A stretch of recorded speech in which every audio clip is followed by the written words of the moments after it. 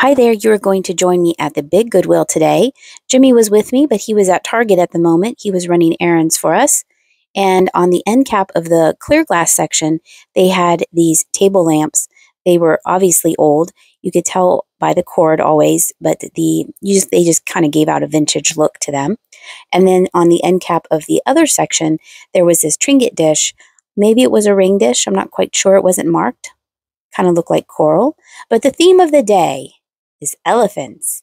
And these were the first three elephants that I found. If you follow me on Instagram, you saw that I posted a picture of all the elephants that I find today.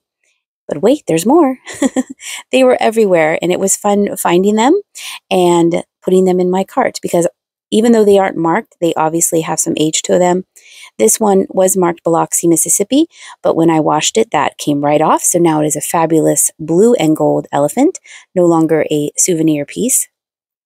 This was a Royal Worcester egg coddler, and I usually do, I've sold these in the past, and I usually do pick them up, but there was only a single one, and I don't have any kind of holding on to at home, so I left that there. I think this was trying to be Dresden, but it had failed. It wasn't the real thing, it wasn't marked. And then Jenny and I were here today, and funny enough, I found the other one of these. I think they were candle holders. I had only saw the one on this trip, but I saw two of them today. On the bottom shelf were some Barbies. I don't really know too much about Barbies, but I do look, know enough to look for older ones. Didn't see any, so I went back to the shelves. This is still there. It has a antique mall uh, sticker on the bottom. It obviously went with another piece. Probably she's showing off for her man, but that is still there. Nobody wants it, even though it does have some age. The size and shape of this tile grabbed my attention, and I looked on the back to see if there was any markings. Isn't that pretty on the front there? Uh, but I wasn't really feeling it, I think because of the weight. And so I left that. And then I saw this and immediately made my way back down the aisle. This is Dragonware. It has Moriagi detailing. That's a slip technique that they use to make that two dimensional, uh, usually dragons, on Dragonware. And I've picked up teacups and saucers, but I haven't had a vase yet. And then I saw this when we were on our trip to Oklahoma and Texas this past spring, and I thought it was really, really cute then and I thought, hey, this is just like the one I saw. It is has a little sticker on the bottom, made in Korea. So I would guess maybe the 70s, 80s this is from. I think it would make a really cute cake topper. Wouldn't that be sweet on a birthday cake? And her flowers are still in great shape, so I decided to take that. I moved this little bun warmer out of the way to reach this. And this obviously wasn't, you know, handcrafted by a craftsman one piece at a time. This is probably mass produced, but it is in great shape. And I liked how the pelican is separate from the base there. So you can move them from the different pillar if you want to, or have something else on there. I thought it would be really cute if you put a plant, maybe like an elephant planter with succulents, would look adorable with a pelican watching over your elephant. Here's Our Lady of Guadalupe. When I turned it over, it had a barcode, so I know it was more contemporary.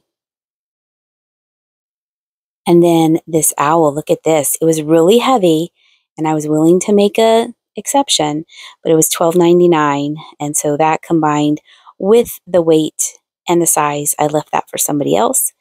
That is probably some bohemian bohemian glass left that on the shelf.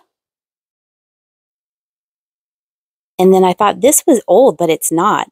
It was, um, I think, marketed through Target. If I read the label real quickly, correctly, giving you a look at the shelves here. This is still there also.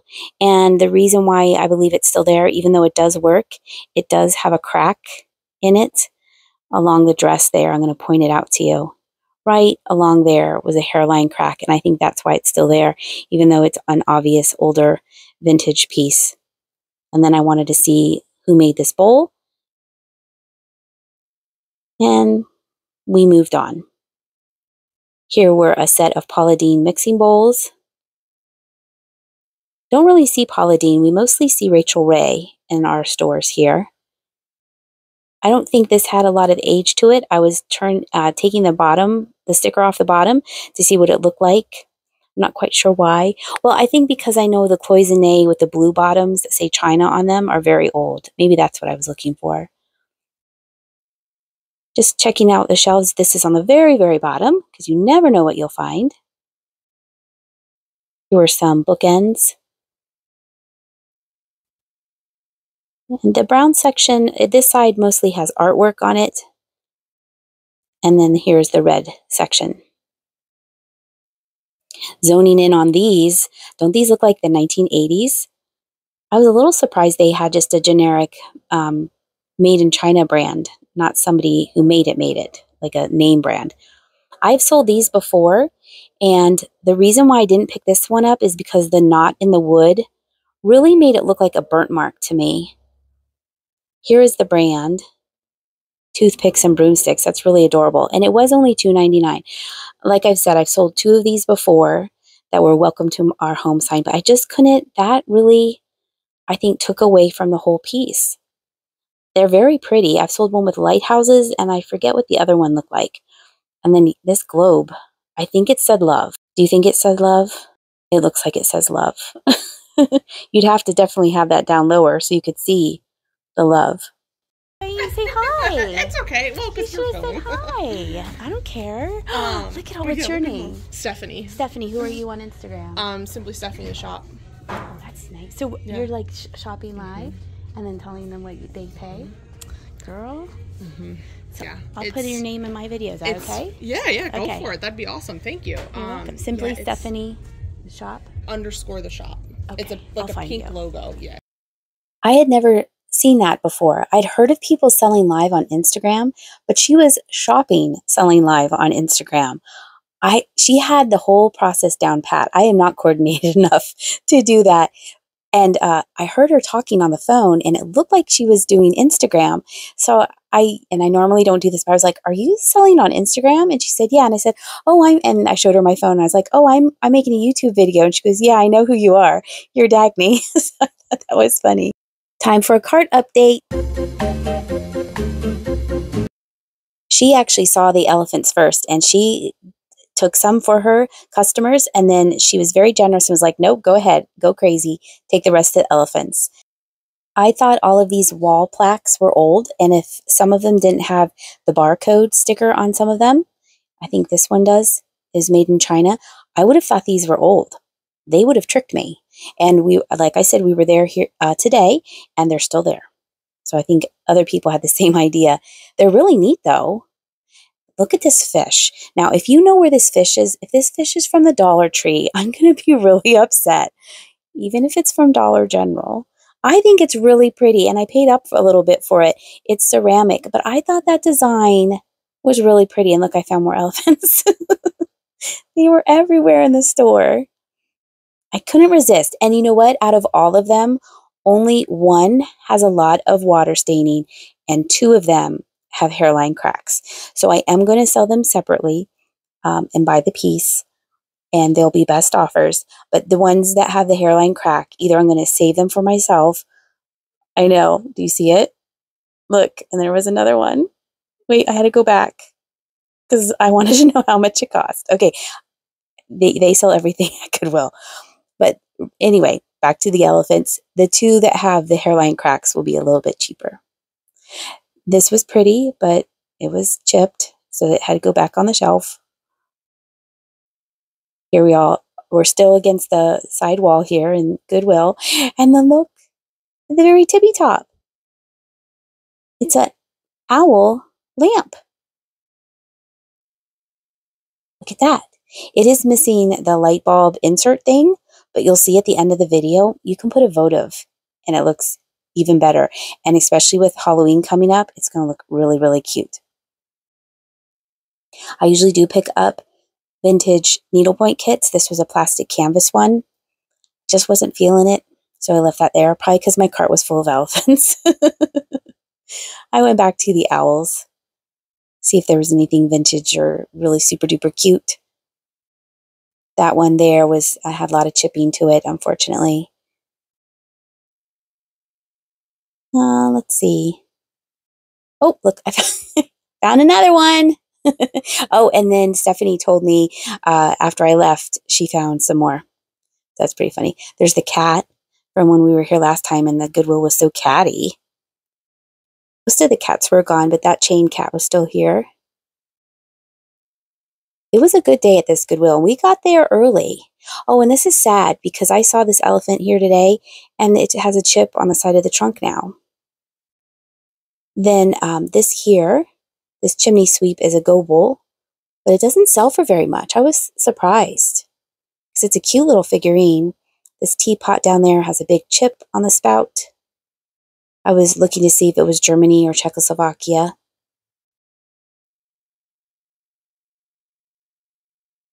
And then this little covered dish was Holly Hobbie. I wonder if these were one of the pieces that um, I've been told in the past that your moms used to collect them um, with at the grocery store. You would get credit, and then they would have dishware that you could get from buying at a grocery store. I wonder if that Holly Hobbie was one of those pieces. And then here, these were really pretty, but I flip it over and I don't even show you. It might have been Italy. I'm not sure. Sorry, I did a bad job of showing you the back of that. I thought this was weird because they had scents for like the names, like hot chocolate and like, look, cranberry, cinnamon, cookies. Are these scented? And then your hair smells? I don't know.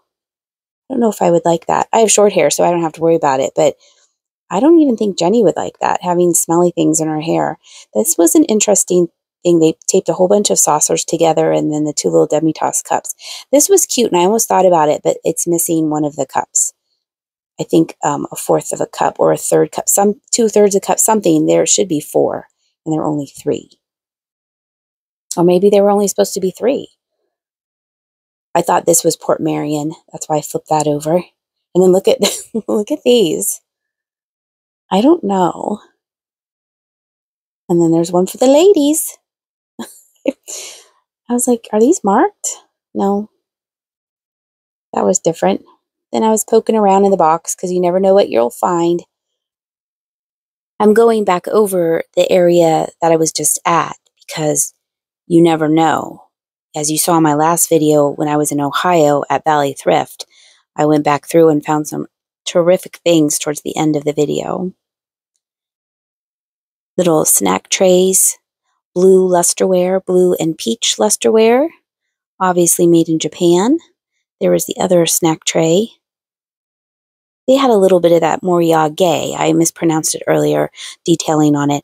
This, I know, it's really pretty and it's a perfume bottle. It's missing its stopper. This might be Egyptian glass. Like I've sold these before. It was, they were all made in Egypt, but that thing was so thin and so long. I did not want to risk it being snapped in the mail. So I left that for somebody else, even though it was super duper pretty. Maybe if it had its stopper, I would have talked myself into it, but it didn't. So here were some more of those wall plaques. They're fruit, obviously. See how they have a definite vintage look to them? But when I was saying old, I was thinking like 50s, 60s, maybe even 40s. And these might be 70s, 80s, 90s. Christmas is kind of mixed in with it. Here I'm just looking at the shelves so you can look along with me. It's a giant smurf from one of the smurf movies. It felt weird. It wasn't very soft. And then my mom is always like, um, hints from Heloise. And so here was the original big book of hints from Heloise. So I had fun flipping through it, seeing what hints she could give you. it's fun, the older books. And while I was looking through that, Jimmy came back and I said, Look at all my elephants. and uh, yeah, that was his reaction. so as long as you can sell them, he was positive. He didn't say anything bad. and then I really like selling these. I've sold these in the past, and I really liked how here he is. um, he was holding the box. Um, this came with the original box, so it's going to really make it easy to ship. I've sold these in the past. The bottom tray, you'll see, has a little bit of some kind of schmutz on it, but it cleaned up nicely. So that, that was just previous party wear stuff. And then I found this huge bag of uh, doll doll furniture. And when I was at Burning Bridge with George and Jocelyn just the other day, there was I saw uh, quite a bit of this doll furniture in um, booths. It's made in the USA. You see, look, look, there's another elephant, and you'll see at the end of the video um, quite a bit of furniture in that little bag. So there's two more elephants to put in the cart. And this is the very last thing that I found. Pyrex. It's a Cinderella bowl. Here is everything that I picked up on this recent trip to Goodwill, the big Goodwill in Lancaster. I hope you can join Jocelyn and me at a meet and greet that is being sponsored by Burning Bridge Antiques this Friday, September 30th, 2022, in Columbia, Pennsylvania. More information is in the description of this video. Thank you so much for watching, and I'll see ya!